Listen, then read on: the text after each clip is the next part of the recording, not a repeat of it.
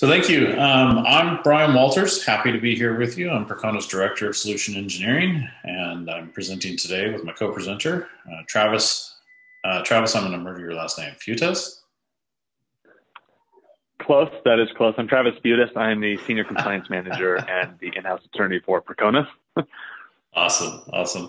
So, you know, compliance is a topic that is top of the priority list for many organizations today. And uh, PCI compliance is one of the more frequently discussed forms of compliance. So, that coupled with the fact that we get this question, you know, from time to time asking us whether an Percona server for MongoDB is uh, PCI compliant, were the catalyst for us deciding to do this talk. So, what we're going to do today is discuss PCI compliance, um, the exciting topic that it is. We'll learn about what it means, what it means to achieve it, and then we'll show you how to enable some specific configurable features inside of Percona Server for MongoDB uh, and set them to minimum baselines. Now, I'm going to warn everybody today uh, as you know from my background as a solution engineer please do not try to do anything that you see us demonstrate today uh, while that might sound funny um, the reason for it is because we're going to show you the minimum configuration options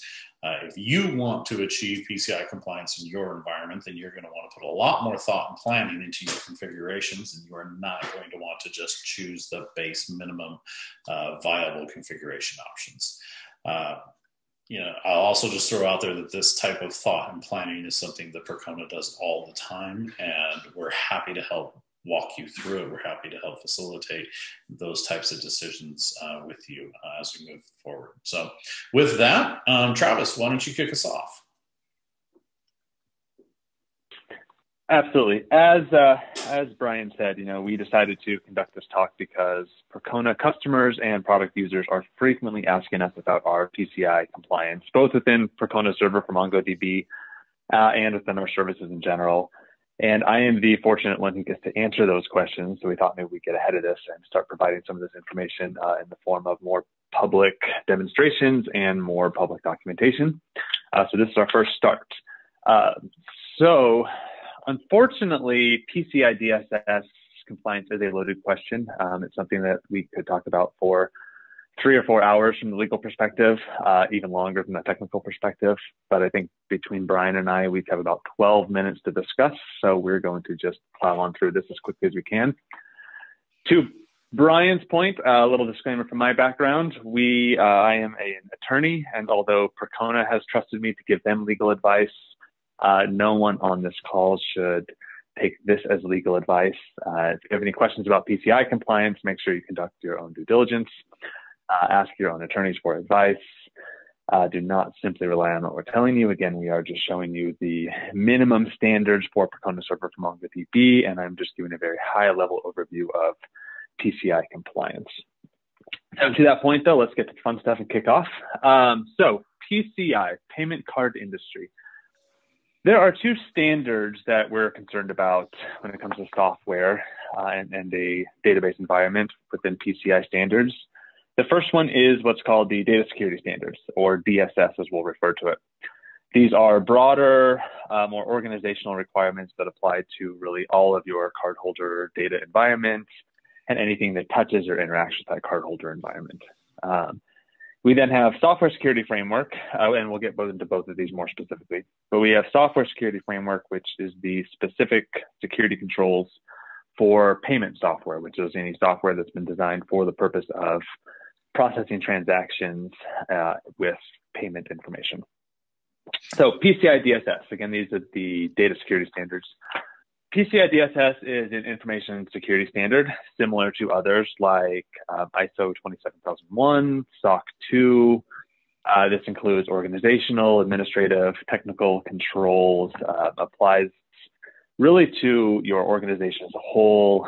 Um, more specifically, though, it provides a baseline of technical and operational requirements to protect cardholder or account data that you may have in your possession whether you know the actual retention of it in a database or software or the interaction of it uh, even includes you know HR functions. So really this broader um, broader baselines that apply to all companies that store, process, transmit cardholder data or are otherwise involved in that um, process, which includes, you know, merchants, processors, acquirers, issues, service providers, as defined by PCI, which really means that PCI data security standard applies to anyone or anything that touches cardholder data. And more importantly, though, is what does it cover? Like, what what does this actually apply to within your company? Again, anything used to interact with or manage cardholder data, which for our purposes today, most importantly, your database environment. But from a broader scale, uh, it includes people, processes, and technologies involved in managing cardholder data. So system components that can be anything like a network device, a server, you know, a router, a switch. Uh, can be the applications that are used to interact with uh, your cardholder data in your environment. Uh, it includes, we said, HR functions. So anything that you know, it goes into you know, how you manage your people, uh, how people interact with the environments that you have and the applications that you run. Um, also, although not specified in PCI guidance, one of the key features or one of the key um, fundamentals is that this also applies to your cloud hosting environment. And many people forget that. It's not just the application, it's not just your organizational controls, it's the infrastructure and more importantly, the cloud infrastructure that you're using. Uh, for instance, like AWS, Azure, Google Cloud, all of these indicate that they're PCI DSS compliant. They'll provide certificates. Uh, fundamental, fundamental concern making sure that that's included in the scope of these components. So a little bit more granular on the software security framework. So this is a set of security requirements and development procedures that ensure payment software adequately protects that transaction data and the cardholder data during the process of processing a transaction. Uh, sorry, that was a lot of process and processing, but that is what it is. It's any process during the processing of transaction data um, must comply with the software security framework. And uh, again, the purpose of these is make sure that payment transactions and data are protected, vulnerabilities within the software minimized, and that the software has the ability to defend itself from external attacks. Uh, something to note here is the software security framework is relatively new. It was implemented in 2019 and it is taking the place of a different software uh, security rules that PCI had previously set out. Uh, this will be fully implemented in 2022. As of right now, this does not apply to standalone databases. Um, in the future, it may, so this is something to keep in mind that although this may not specifically to apply to a database, as of right now, these rules are still being written, still being amended. So stay tuned for that. Now, why should I care? Why do I care about DSS and SSF or whatever this may be? Uh, again, we talked through quickly. I, the uh, PCI DSS applies to potentially everyone and everything that has data. PCI SSF applies to a limited subset of individuals. Um, so the question to ask is, specific to Percona Server for MongoDB, is how are you using Percona Server for MongoDB? Is it used as part of your cardholder data environment? Is it used as part of your payment application? Are you considering doing that? Is it used as both? Is it used as neither, but yet it's still used as some sort of function uh, that interacts with your cardholder data? And then we'll dig. Then we can dig into these. So if you are using uh, PSMDB as part of your cardholder data environment, um, right? Remember that data security standards applies to the entire computing environment. And to attain PCI DSS compliance, whether you're doing that through a self attestation or an external audit, all underlying system components and applications that touch the cardholder environment are included in the scope of audit, which means that if you're using Percona Server for MongoDB as part of your cardholder data environment, then Percona Server for MongoDB is going to be audited, and the way that you have set up and configured Percona Server for MongoDB and how you interact with it will be part of that audit. Now, um, with the software security framework, maybe you're only considering using Percona Server for MongoDB as part of the payment application. So it'll be one of your database or your key database environments. Then all that you're focusing on right now is that software security framework. Um, now, keep in mind though that even if you're only focused on that software security framework, because all you're doing is using Percona Server for MongoDB as part of that payment application, payment software, um, you yourself are not PCI compliant uh, because in order to have full PCI DSS compliance, which is the security standards, um, a secure application, something that has obtained the security software framework, still has to be implemented within a PCI DSS compliant um, environment. So easy way to remember it is PCI DSS means that just about everything that you've obtained or everything within your cardholder environment has obtained PCI compliance in some way, shape, or form. SSF is specific to that software. So, uh, and just kind of an example from Percona. So Percona is a service provider to merchants. We have many financial customers and they consider us a service provider as it's defined by PCI. So our services themselves have to comply with several portions of PCI DSS that are relevant uh, to the services we provide. So what we do on an annual basis is Percona completes and submits what's called an SAQD. So it's a self-attestation form. Uh, it's about 99 pages. It goes through all of our specific controls, uh, how they relate to our interaction with cardholder data environment. Um, and then we use that to attest to our PCI DSS compliance along with some of the other compliance certifications that we have, which is a HIPAA security rule and ISO 27001.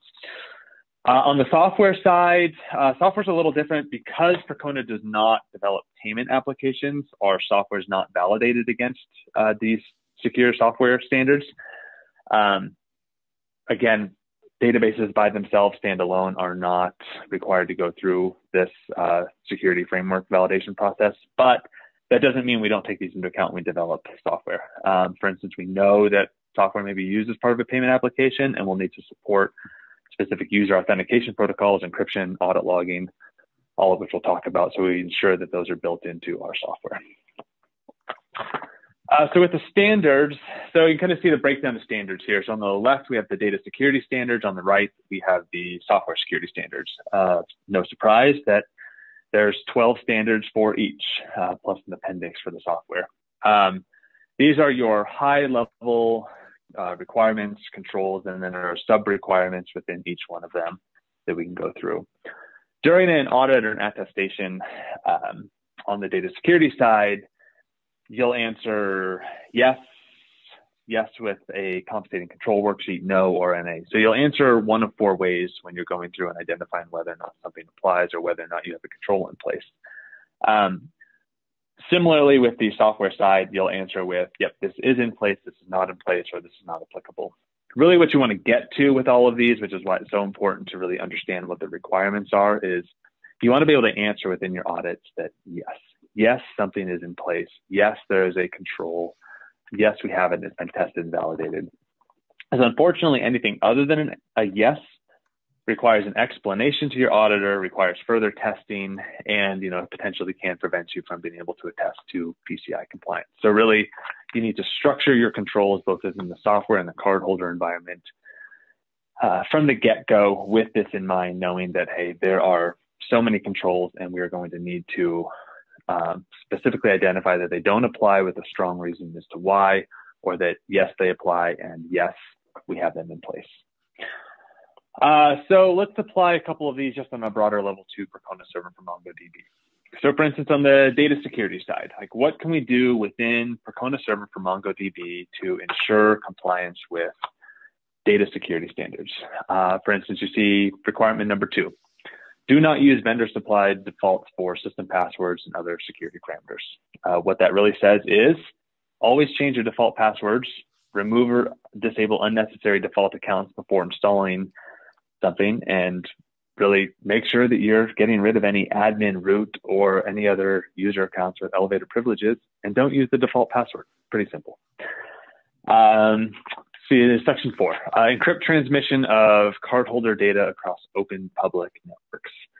What this means is use industry recognized cryptography and security protocols um, anytime you're transmitting the data. So use encryption in transit and do it with some sort of method that is widely recognized or used, for instance, TLS 1.2. Uh, number 10, track and monitor all accesses to network resources and cardholder data. Again, a little bit more simplistic. enable audit logging.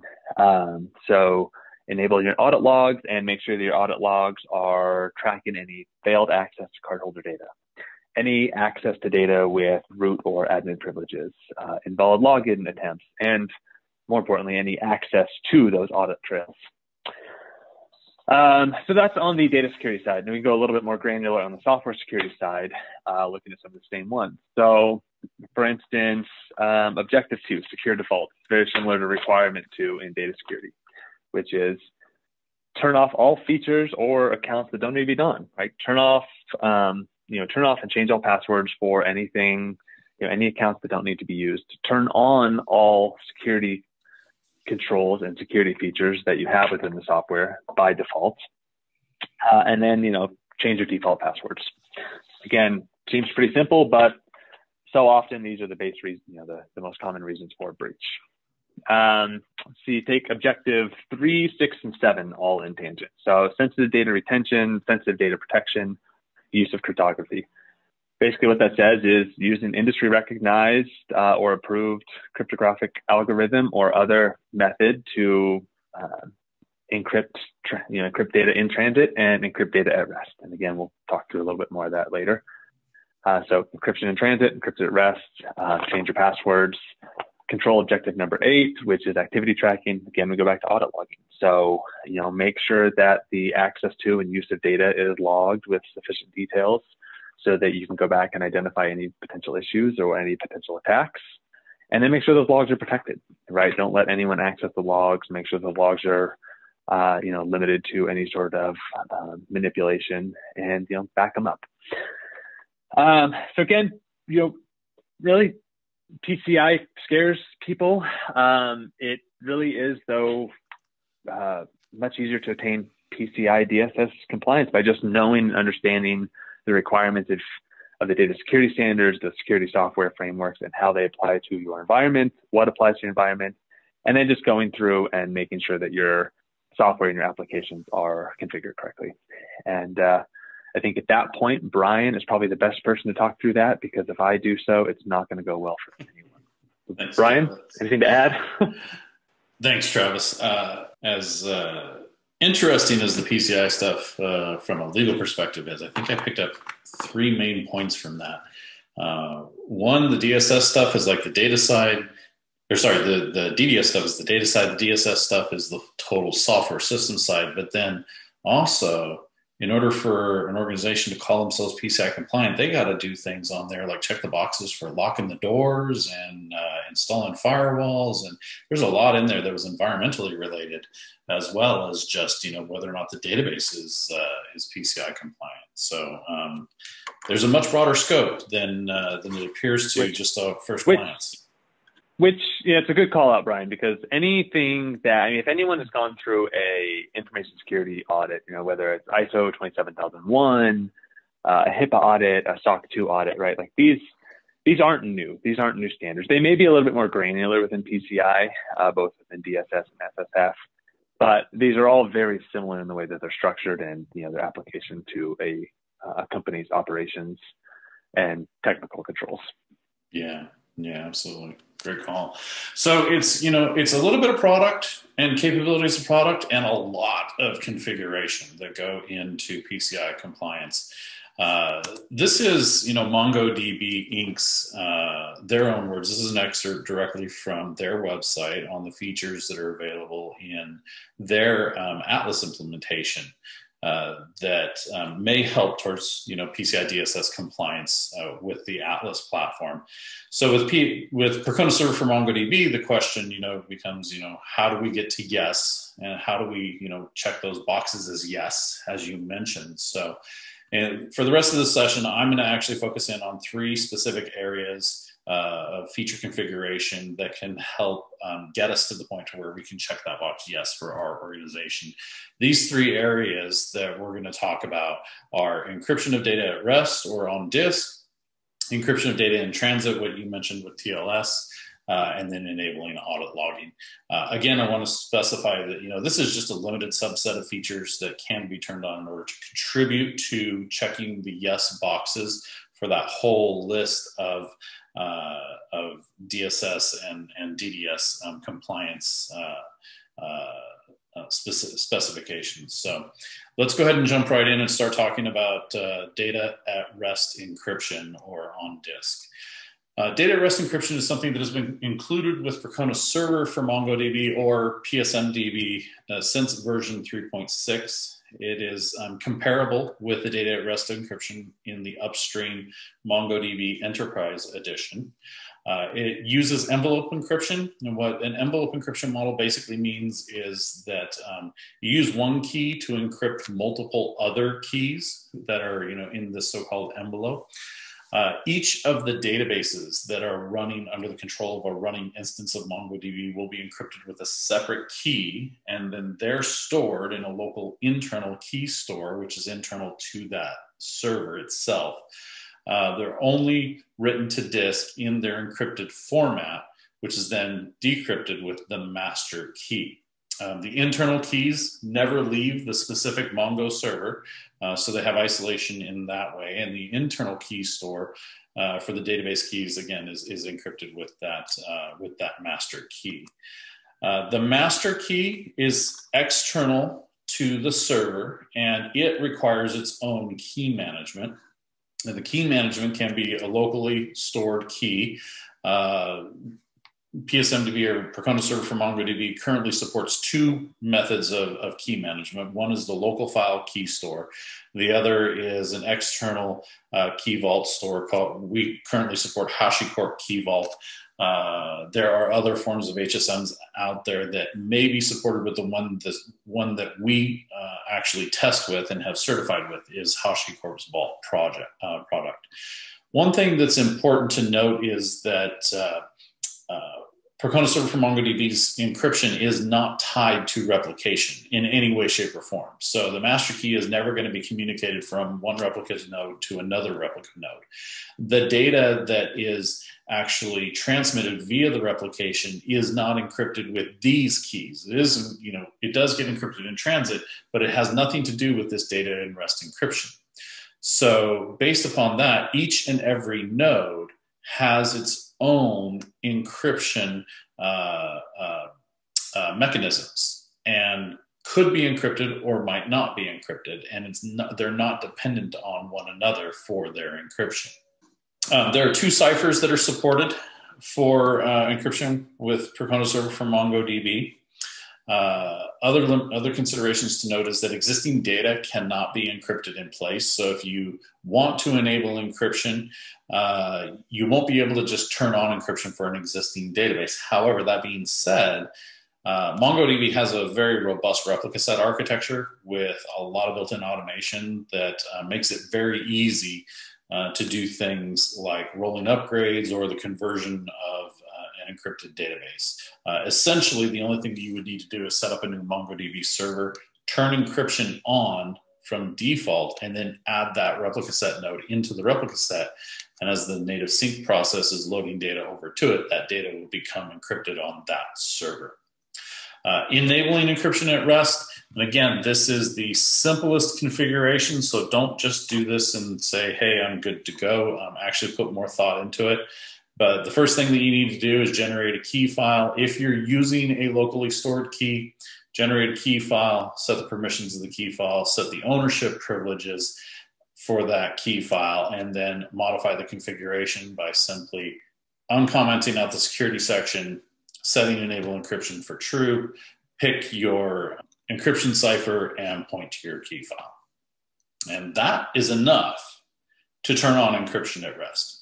Now, again, you don't want to just stop there. There's a lot more thought and energy that you want to put into this.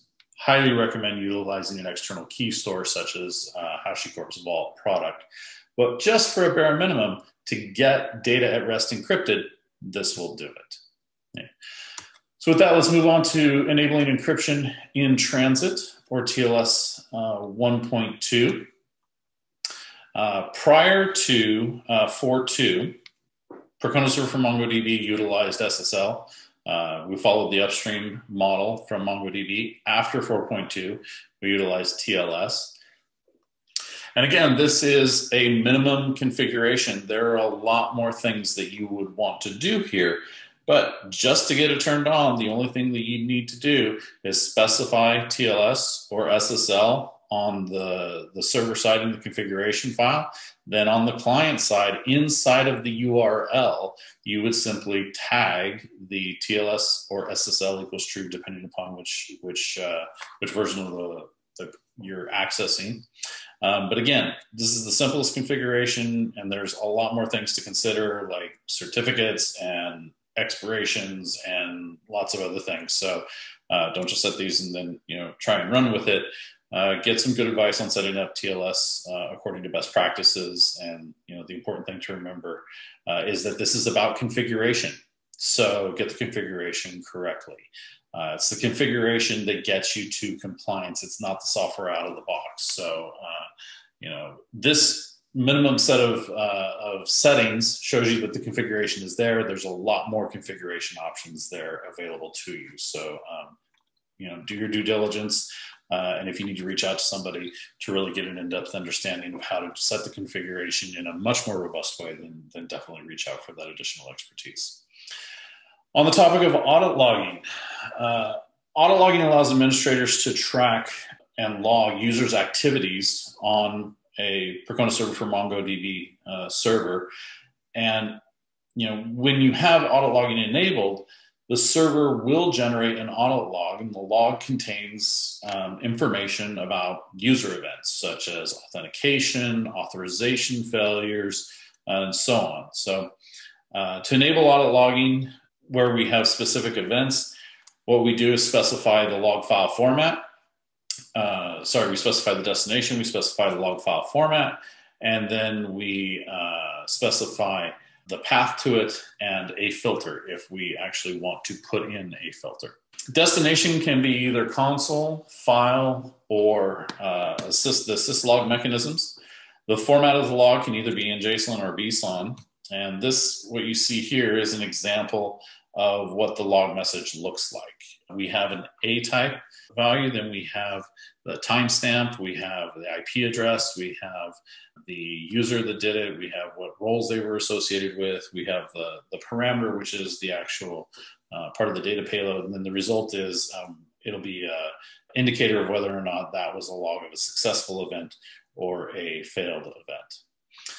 Our filter, if we so choose to put a filter onto it, can either use standard query selectors such as um, equals, in, greater than, less than. Uh, so in this example here, we're filtering on the type value being in this set of values. And this set of values includes things like authentication events, authorization checks. We have things in there like update a role or drop a user or uh, you know remove a shard or shut down a database. These are all events that, uh, based upon this filter, will get captured and logged. We can also use regular expressions. So in the example at the bottom here, we, are using a regular expression instead of you know these specific auth event types. So in this regular expression, we're basically saying I want to log anything that starts with the word drop. And so everything that you see in the list above there that has the word drop in it would automatically get logged based upon that regular expression.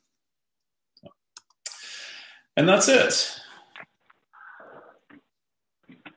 Cool. Well, I mean, I'm not technical in the slightest, Brian, but that seems like it's pretty simple, right? Um, I mean, you know, these are three of the things that are some of the most common causes of breaches. Um, these are things that can just lead to PCI DSS and PCI SSF compliance, right, in pretty straightforward fashion. So, you know, encryption at rest, encryption at transit, audit logging, uh, you know, whether or not you need to maintain a PCI compliant environment or whether you're pushing for, you know, PCI DSS or PCI, you know, SSF compliance.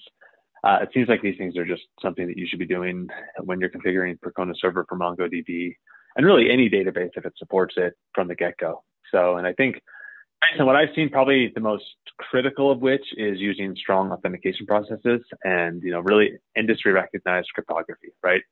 Uh, upgrade to TLS 1.2, right? Uh, implement password requirements, get rid of the default passwords, get rid of the admin, uh, you know, accounts that just used admin as a password. you know, use 20 plus characters for your passwords. Uh, and then, unfortunately, breaches are just part of everyday life now, right? Uh, we haven't heard about as many of them lately in the last, you know, six or seven months because the news has been, you know, elsewhere. But you know, breaches are still occurring on a daily basis.